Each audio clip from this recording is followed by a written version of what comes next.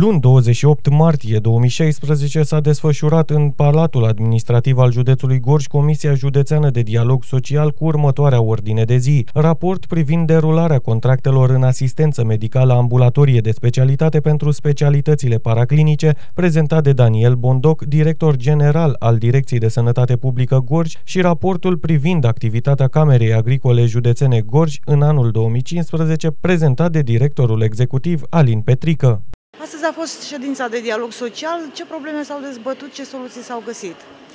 Da, de regulă, atunci când uh, propunem spre dezbatere în Comisia de Dialog Social materiale mm, din partea diferitelor instituții, o facem uh, ca urmare a solicitărilor uh, partenerilor noștri din Comisia de Dialog Social. Același lucru s-a întâmplat și astăzi. Una din solicitări era din partea Casei Județene de Asigurări de Sănătate, Casa Județeană de Asigurări de Sănătate care gestionează anumite programe legate de starea de sănătate și în special s-a făcut solicitare în vederea prezentării stării de fapt a solicitărilor cetățenilor pentru tomograf, computer tomograf, computer tomograf remeneu și așa mai departe. Materialul a fost prezentat și, din ce am înțeles, a răspuns uh, solicitării uh, celui ce a propus această temă de dezbatere. Încă o chestiune pe care am abordat-o a fost legată de activitatea Camerei Agricole și ceea ce înseamnă activitatea sa pe viitor, uh, pe nou exercițiu financiar, colaborările cu AFIRU și cu toți cei implicați în activitatea agricolă la nivelul județului Gorj.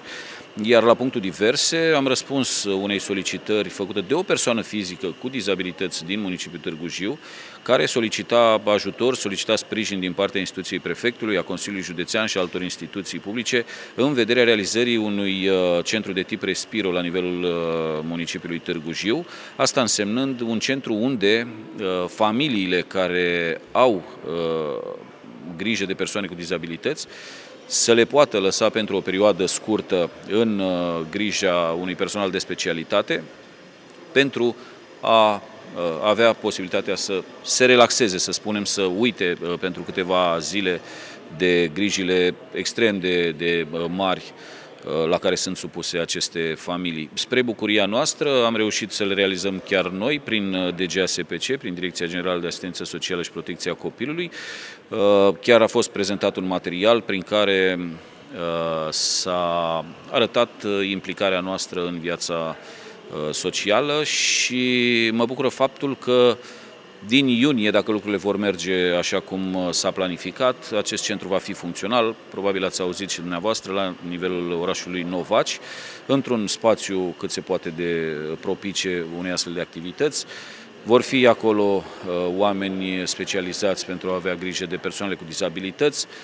Nouă pe uh, lună ar fi capacitatea acestui centru. Sperăm să se ridice la la nivelul uh, solicitărilor.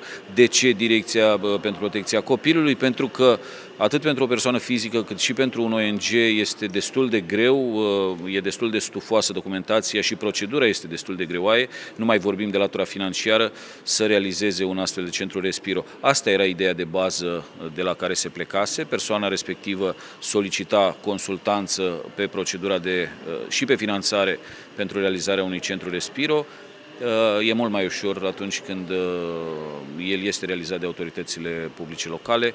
Am făcut-o și sperăm să fie, să fie util uh, familiilor respective. Și o altă problemă importantă care o simt toți gorjenii chiar, uh, aglomerația din Târgu Jiu a fost pusă astăzi.